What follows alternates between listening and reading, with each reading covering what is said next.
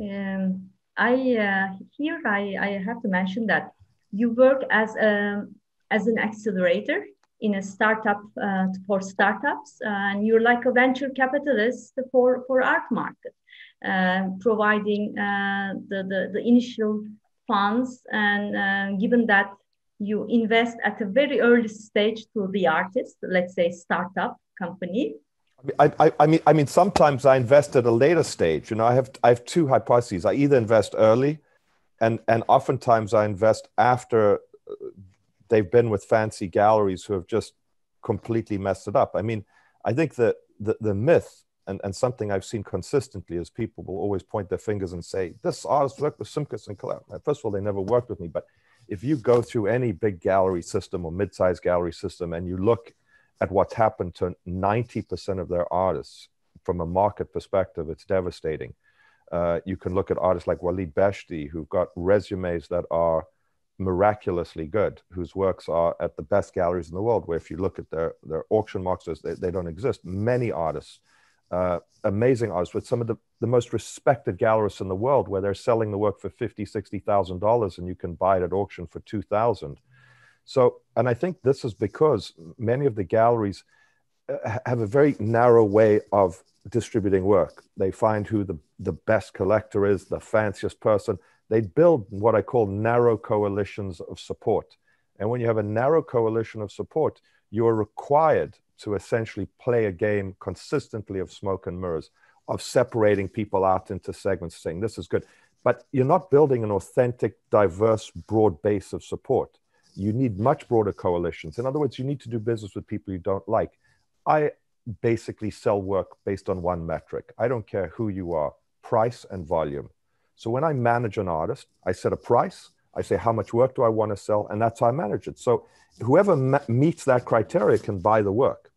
Galleries, if they have a hot artist, underprice the work dramatically. So really, whoever buys the work knows they're getting this much fat so, of course, there's a line around the block of people waiting to get the fat. And they then think, who's the best person? In other words, who's the person most unlikely uh, uh, to, to, to, to monetize that fat, either because they're very rich and it doesn't make a difference to them, or because they're going to sort of pay a tax for that fat that they're getting in another way. Give some money to a museum that will, you know, click reaction to support an artist or or buy another work that they don't really like from the gallerist. So I believe that through basic economic principles, just price and volume, you can manage essentially who buys and doesn't buy the work. So you have two conditions in the market. One, galleries underpricing the work of hot artists because it's easy to sell when it's underpriced. You don't have to do much work. That creates rationing. That creates. Yeah, yes, you, you, you have you, you, you have uh, it's easy. You've got a line around the block. You don't have to do work. You just take the phone call, send the invoices. You can be arrogant and stuff. But when you price it at market, it's much more difficult. Now, I have a. If you can bear with me, if your participants can bear with me, I have a. I, I kind of digress because I, I I I I have a voracious appetite for everything. That's and, great. That's great. and I watched recently. Uh, a show from the 1970s, and this story is is going to take five minutes, but I think it'll it'll give you a perspective of how I feel about the art world and and how the market dynamic is created. So, I Claudius was a TV show in the 1970s about this great Caesar Claudius, um, starred Jer- Derek Jacobi. And Claudius was the last in the line of sort of the, the classical Caesars at the beginning of time. And he came after Caligula. And he was a he was a, an academic and intellectual, but he was also um, handicapped. He had a lisp.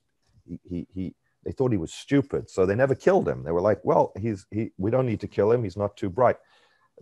This Caesar, um, hello? Yes, someone shared so, so, page. oh, great. Thank you so much. Um, he, he was famous for conquering England, and the Romans, as you know, ran England for 300 years. He wrote the histories of the Carthaginian Wars, uh, which were quite unpopular because he was very favorable to the Carthaginians. But anyhow, when he became Caesar, it was a big problem in Rome. During the winter, the people of Rome would starve to death because there wasn't enough corn. The corn would come from Egypt, they'd put on a ship, come to Rome. In winter, the port would freeze and they weren't able to get enough corn into the country. They needed to b- build a bigger port. So he called in the corn merchants. They came in their robes, their finery, they're very rich. And he said, Guys, I want you to build me a, a bigger winter port so we can get more grain from the Egyptians in winter because the Roman people are starving to death. They came back three weeks later and they said, It's going to take 10 years. It's going to cost 30 million sesterces. In other words, very expensive and too long. So Claudius was clever because he understood that the corn merchants benefited greatly from having the people of Rome starve in the winter because they could get a lot of money for the limited amount of corn they had. And he said to him, Well, you know, this is bullshit because my uncle, Julius Caesar, called in the engineers, civil engineers, when before he got killed and asked them for a plan. And they said it would take two years and only cost four million sesterces. And he said, If you don't go and build a bigger port and finance it yourselves, I'm going to chop your heads off. And, and, and that is essentially cultural production today. It is the corn in winter in Rome coming from Egypt. It benefits the incumbent players to have the corn be rationed. It benefits uh, the, the, incumbents that the points of distribution, essentially the port through, in winter through which corn is distributed, is small and tight. I want to open that up. More corn for more people. There's great art today artists are communicating with each other. They're seeing work globally. They, they are exposed to the best talents in the world. They're taught by people like you in Turkey who are reaching out to the most prominent players in the industry who are bringing them to their, to their classrooms.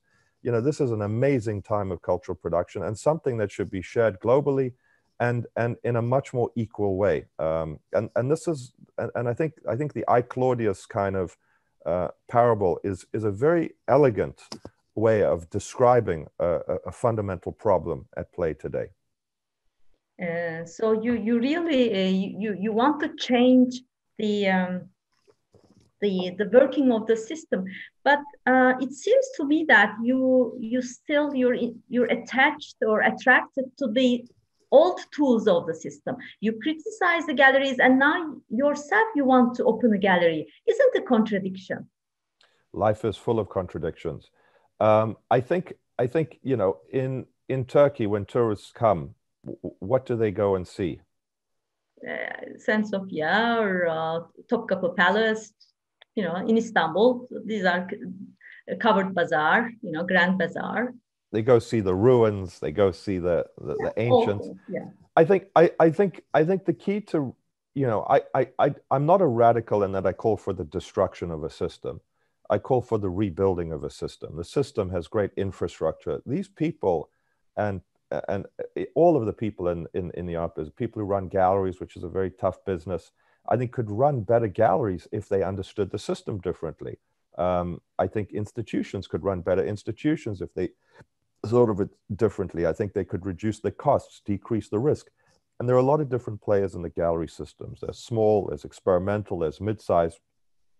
I just call for essentially the system to be more flexible and dynamic and creative and open in their thinking. I by no means call for its destruction. I respect greatly the, the, the resolution, uh, the intellectual and economic activity that takes place broadly in the system, and that goes across the board. I just believe that the system is extremely reticent to, to, to, to change. It's, it's highly inflexible, it's highly rigid, and I think I, I, think its rigidity should be uh, should should be questioned and become more dynamic. And many players have become more dynamic and have changed and have adapted. Um, so I think this is another kind of misattribution. Is is is any criticism of a system is not an attack of a system. It doesn't call for its destruction. It, it's you know in, in America, which is so politicized, you know if you say one thing ab- ab- about uh, you know capitalism you're a communist or a socialist um, you know uh, you know you can improve a, a, capitalist system because maybe it's not running like a capitalist system. You know i think these these these these radical reactions if you say one thing it means you're something else. It, it, it it's it's it's it's it's nuanced. So i have respect for galleries. I work with galleries all over the world. All my artists have galleries. One of my core functions and jobs is to make sure that my artists are represented, have gallery shows, and they do. Um, you know, we have uh, gallery shows of artists we work with constantly. Uh, we, we, we, I calculate that we have about 65 solo shows of artists we work with and, and sort of, I don't use the word manage or represent, but quasi represent with, with artists all over the world. Petra Cortright has a show in Copenhagen right now. Shana McCoy, uh, who's a female artist from Minneapolis, just opened a show at Francois Ghebaly Gallery. Um, there's a show I mean, it shows constantly, usually five, six, seven shows. There's artists and group shows all over the world. So I definitely, um, I think once galleries work with me, you know, they might be reticent, but they find that it's a very professional relationship. There's a lot of benefits they get. They sometimes don't have to ship the work internationally. If I, if I work with an artist in Turkey, the work is in LA, it gets delivered to them. Many of their risks are taken away. They don't have to return the goods if they don't get sold because the artist has effectively already been paid so, so it de-risks them and lets them focus on, on their primary job, which is retail, which is customer-based, front-facing, communication-facing. Um, I think one of the things I'm doing is sort of taking the art business and saying, well, you know, we've got this sort of artist producing, giving to the gallery, who's the retailer, no money to the artist because the gallery doesn't have money because they're spending money on art fairs. So imagine in the clothing industry, if you if if you had manufacturers and designers producing goods and consigning them directly to the retailer, there would be no money to produce the goods for the retailer to sell. Exactly the same thing in the art business. As the businesses scale, become bigger, we need we, we sort of need wholesalers and financiers and distributors to take care of and deleverage the risk that the galleries have. Also to do some of the work of development that artists require because galleries are so busy. They're at art fairs, they're running around. Artists in development and financing need a different process, just like manufacturers of clothing integrating with designers have a very different relationship, figuring out how to manufacture, how to design. So I think the business requires specialization effectively, especially for younger artists who, whose, whose, whose um, emergent activities require a very different kind of specialization. Um, so what you see with galleries is a lot of localization and support because it's convenient, but we're so integrated today. Uh, you know, there's so much exclusion just geographically because no longer people just geographically isolated. They're geographically isolated, but intellectually connected and culturally connected. It's a very strange thing. It's not, you know, it, it's it's no longer like they're isolated both intellectually and geographically and from the market. Uh, the artist in in in in in Iran or the artist in Indonesia or the artist in Africa can see what we're talking about, can participate, can look on Instagram, can see exactly what me living in like Los Angeles sees, but it's so I think I think it requires really different frameworks for how the business is done, and I'm trying to to build those frameworks uh, through sort of thinking about the system in a very different way, and it, it it's it's it's often counterintuitive to how people are taught the business works. Um, and you know there there are so many systems of belief and thought in the world today that are being challenged. Uh, where there are incumbents who think a system works in a certain way and it just doesn't because you just think it through um, and and so I, I, really enjoy these kinds of intellectual thinkers i mean i urge all of you to read uh, a book called the deficit myth by stephanie kelton which is uh, She's the leading modern monetary theorist in the world, nothing to do with the art business. But if you read her book, you'll understand how two people, uh, Democrats, Republicans, leftists, rightists, socialists, and capitalists, can think the same thing about a subject and both be completely wrong. I think in many respects, the art world is like this, is you can have people who have completely opposite opinions to each other, but yet they're still wrong. You know, there's a third option, there's a third path, and that third path is not explored because these two people are in opposition with each other with a with a with a way of thinking and and the art business uh, needs to have these ideas uh, brought to the forefront actually uh, as an economist what i see is, is the following. Um, in the supply side that means from the uh, from when we look at the uh, production art production we see uh, new schools opening uh, and every year new students new graduates coming to the market.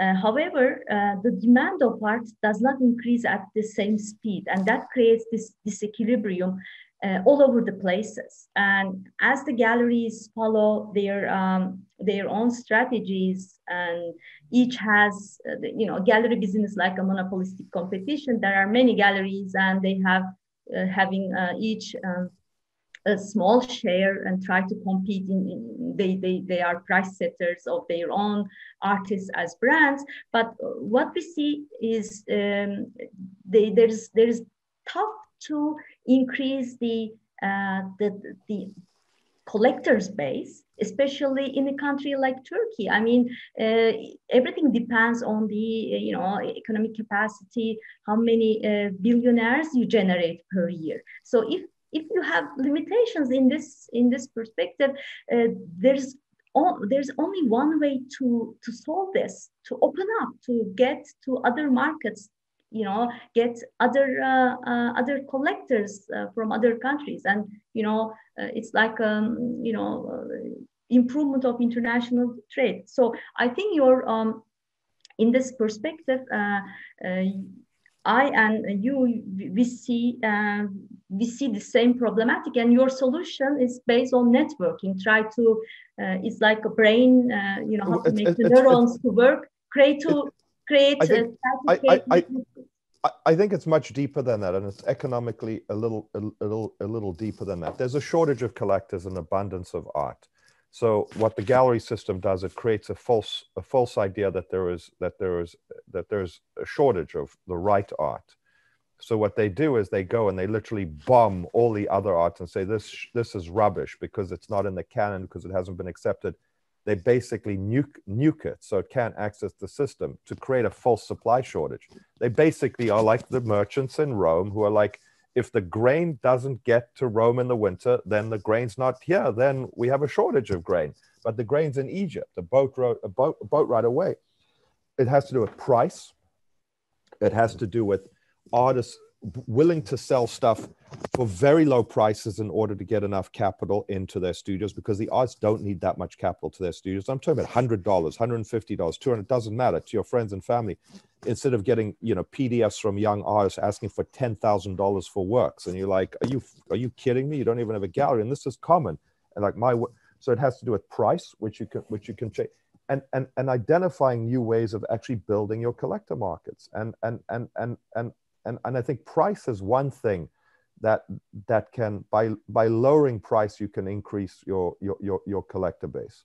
Um, we created a product in LA, uh, a company called Creative Art Partners, which um, which you should look at. It's a very interesting company, um, and we are an art. Uh, we we we actually rent art and lease art. Uh, um, and we this have three. Is my research topic. yeah, I have and to we, check and we have and we have 3000 works now in 96 locations.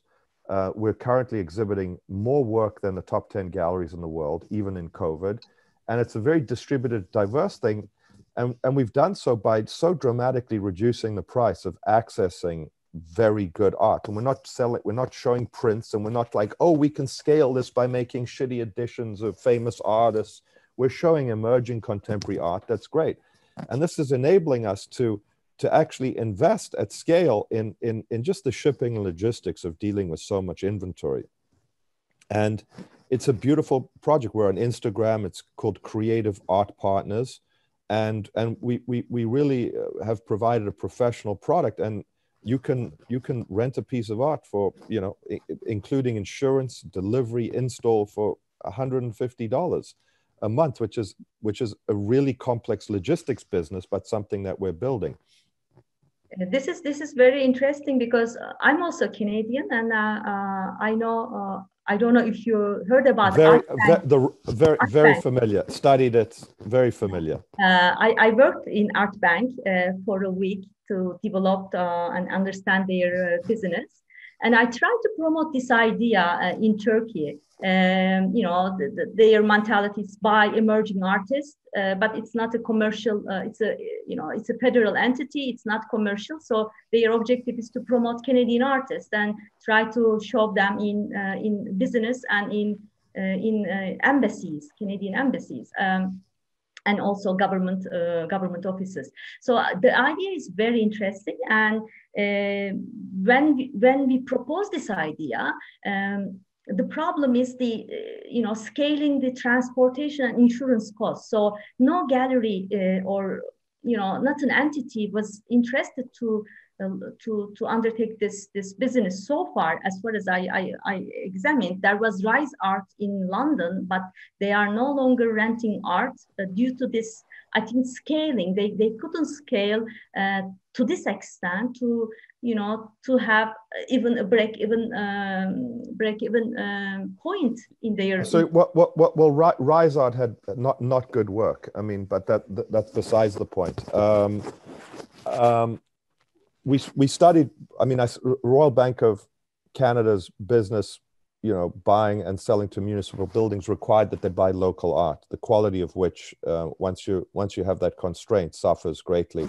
um, because from a from a, a, federal government point of view, their mandate, because it's taxpayer based, is to buy local art. The Australian government has been more successful with their product. Um, but also stymied by the fact that they buy local art and um, I think what, what, what we're doing is sort of buying best of breed product, best of breed art, um, and providing a much better service because we're, we're, we're, we're competitive with sort of, but, but yeah, I mean, the scaling is, is, is very, very costly and you have to make investments in, in basic things and the logistics of it is very complex. And most art dealers are not interested in making like $30 a month on a piece of art. And, you know, it's a, it's a tremendous, but you also need, you know, you also need the relationships and the development of, of artists on the which which happens on my side on the Simcore side where it enables me to take more risk because I physically even if I pay little for the work just the physical logistics of it I can somewhat offset those costs through this. So it allows me to basically be more open but it's a very complex business but something that we're building and um, you know we've been building since 2016 i don't talk about it too much but it's it's it's very much a core part of of, of what we do today. And this is interesting uh, also uh, related to my another question of mine. How to price uh, an, an emerging artist's work uh, who hasn't shown anything yet? Uh, and one suggestion you know coming from economics theory is you know the relative price. You can only price something if you know the price of something else that you can compare.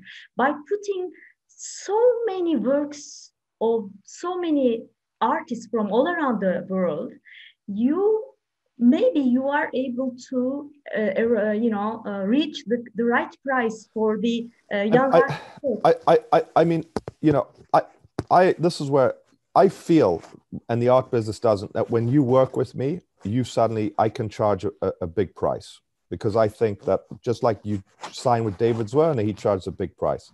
The art establishment doesn't like that because they sort of think that I'm not part of the establishment. I don't do institutional shows. I'm not David Zwirner or blah, blah, blah. I think differently. I think when I engage in your work, it changes the value of the work because I'm engaged, even though it's not, it, it, it's not because it has the same thing.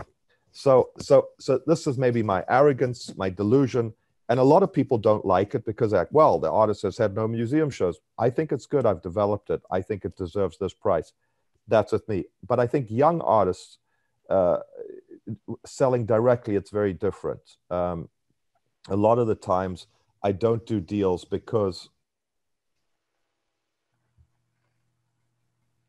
I, a lot of the times I don't do deals because it's it's too expensive and the artists go nowhere.